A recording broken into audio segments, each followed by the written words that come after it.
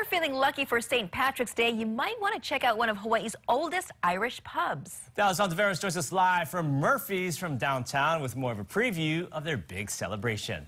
Good morning, Dallas.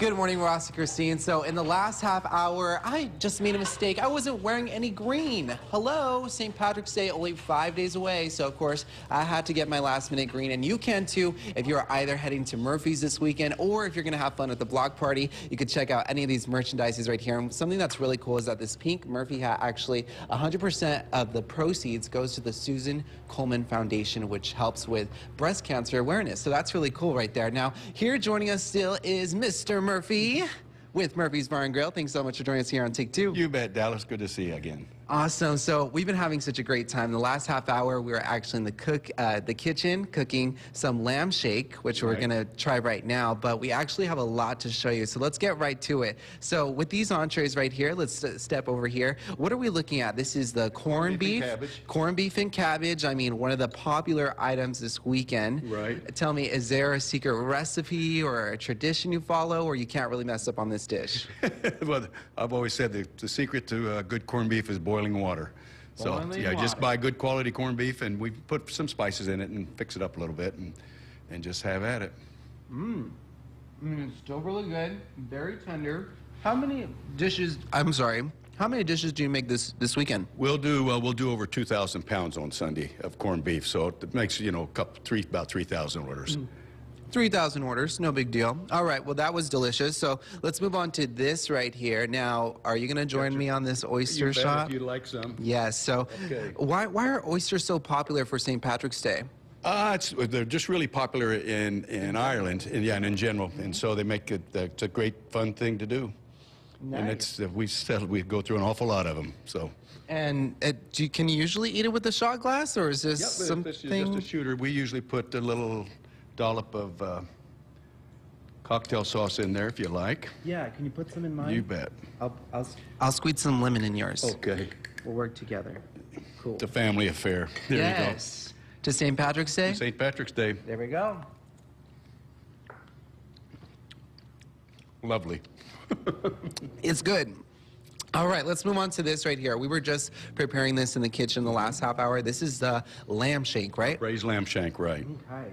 And um, what's special about this again? Can you explain to our viewers again? Well, it's just it's a it's a there's lamb sold all over Ireland. Of course, it's a real real staple over there. So it's we just make it up, and it's just it's different. You don't go to get lamb shanks anywhere, you know, very, very often. It's, it's a popular dish, but not a lot of restaurants sell it. So we'll do about 300 of them on Sunday. Mmm, lamb shank right here, popular dish.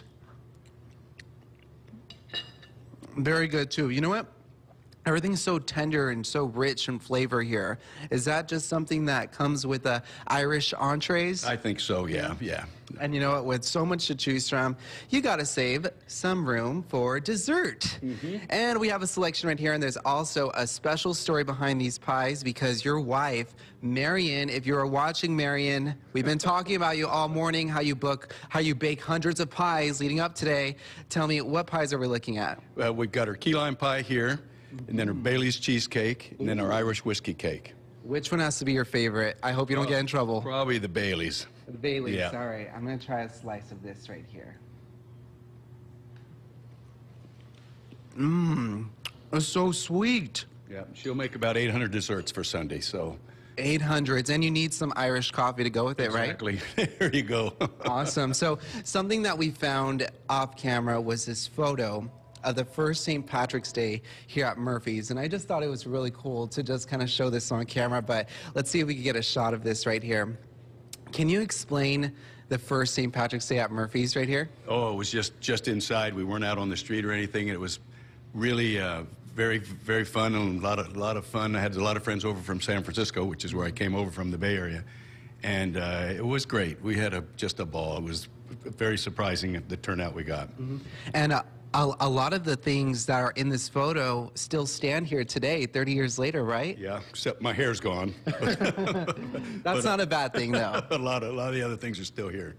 Awesome. Well, that just says it all, everyone. You're going to have so much fun if you plan to coming either to Murphy's Bar and Grill or to celebrate at the block party. It is a family-filled event. You're going to find a lot of things for the kids, a lot of food to eat, and maybe some things that you never tried before, like we just did right now. Anything else? Do you want to wrap up? No, just everybody enjoy yourselves, and if you're going to go out and celebrate, please take Lyft or a cab or whatever, but don't drink and drive. Oh, really quick. You guys actually have a 20%. Um, right, Lyft, if, if for Lyft customers, uh, you get a uh, there's a discounted rate.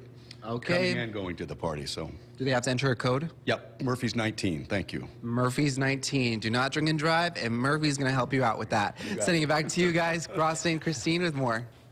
All right, thanks a lot, guys. And St. Patty's Day and Murphy's go hand in hand. It's almost not complete if you don't go out to Murphy's on St. Patty's Day if you live in the area. Yeah, we actually went last week, and if you want a hearty meal, you go to Murphy's because you'll be stuffed. In fact, and they have how his wife bakes the pies, and so many were like sold out. So I was like super bummed, and I'm just like, oh, but if you want a hearty meal, that's the place to go. St. Patty's Day, that's a definite must. Mm-hmm. And it's on a Sunday this year, so more time, right? Yep. All right, still to come. A fog on the mainland got a clever surprise.